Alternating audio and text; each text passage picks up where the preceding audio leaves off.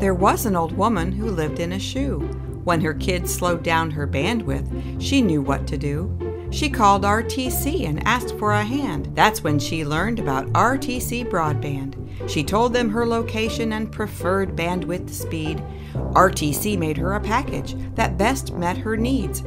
Now she and her children all log in carefree, thanks to faster broadband from RTC.